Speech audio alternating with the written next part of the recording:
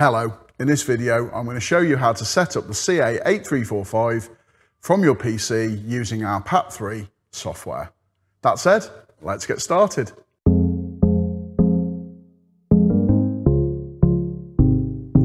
So let's take a look at how we configure the CA8345 using our PAT3 software and your PC. The first step obviously is to go to the CA8345 page on our .co.uk website, scroll down to the bottom to the support section and you will see a download link there for our PAT3 software. Download the file, unzip and install it and then you should be looking at something like I've got up on the screen here. So let's take a closer look.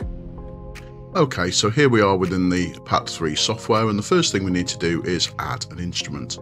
So if I go to Instrument and Add an Instrument, now in this case the CA8345 is connected to our network, so I'm going to click Ethernet, Next, and then I simply put in the IP address. You can find the IP address in the network settings page on the CA8345. So if I simply add in the IP address and press Next, we then see that the instrument's been identified and we press finish.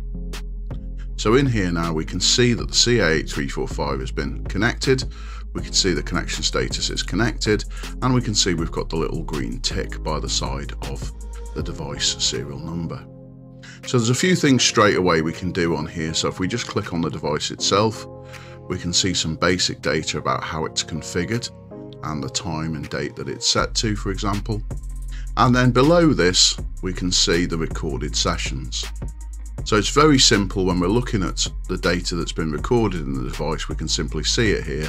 And if we want to view any data, we just simply click on the various tabs and it will show us the data that's been recorded within the device. We can also see in here some real-time data coming from the device, which will give us the real-time values and we can analyze those in real time. But what we're here to do today is to look at the actual configuration process. So to do that, we simply click on the actual uh, device serial number, and then you'll notice that we get this little spanner and screwdriver icon, and it says modify in instrument configuration. So if I click on that, it will now read the configuration from the device, so the current configuration, and it will load that up into PAT3. So here we are, we've got the uh, configuration loaded up into PAT3 and we can see we can scroll up and down here and we've got the various tabs down the side here to do the configuration. So if we start off in the setup tab here, there's a few basic items we can see. So the first thing we can see here is that we can configure the type of distribution system that we're actually working on. This would usually be say single phase two wire and you can see from the diagram on the side here how that's configured or maybe three phase four wire. So you simply pick the configuration that suits and check it on the diagram. Underneath here we've got other options for configuring the timing signal.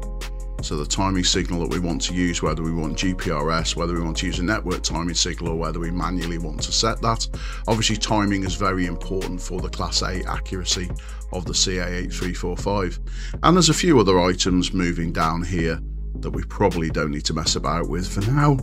Uh, but these are things like main signalling, voltage detection, um, K factor for transformers, nominal frequency, and a few other items in there. So we just go down and set those accordingly. The next tab is sensors and ratios. So if we're actually using voltage transformers to carry out the, uh, the measurements, we can set the ratios for the voltage transformers. And down here in the current sensors tab, any current sensors that we're using will be detected by the instrument and displayed here. If we are using other CTs, something like the MN93A, uh, which is designed to be used with current transformers, we can actually vary the ratios here as well. The instrument display tab gives us the option to set the time and date formats, select the display language, the shutdown options, display brightness. We can also configure the colours that are used within the instrument to display the various phases currents and voltages.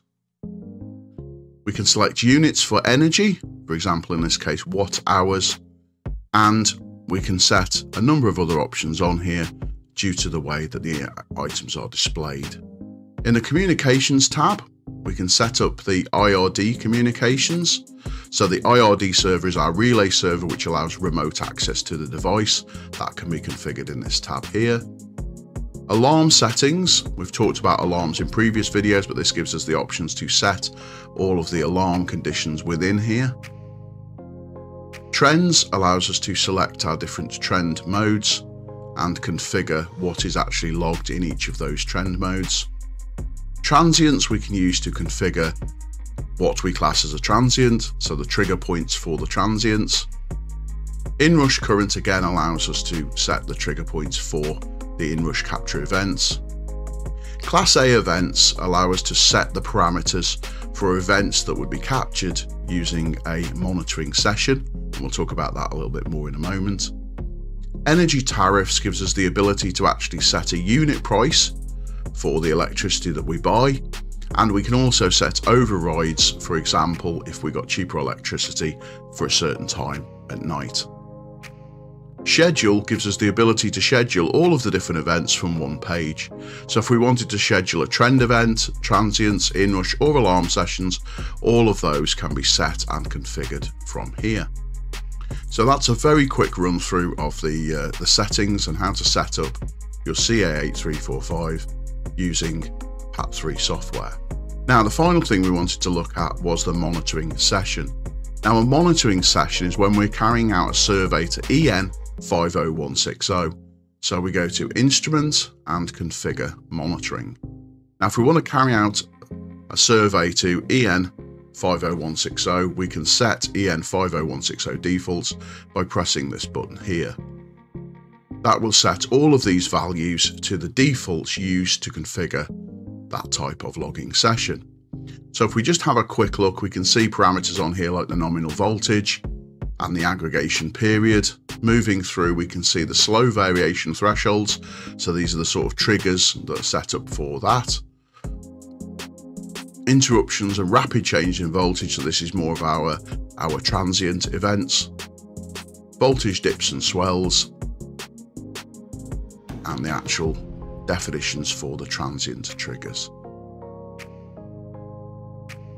So if we want to set up a a monitoring session to EN50160. The way we do that is obviously we set these parameters and then we can schedule it at the bottom here and we can schedule a start and stop time for the session and then we simply press OK and that will be loaded to the device.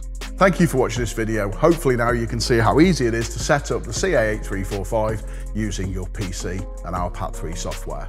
If you've liked this video, please pop down and give us a like below. If you want to see more videos like it, please subscribe to our channel. And if you'd like any more information, please drop us a message in the comments. Thanks for watching and I'll see you again next time.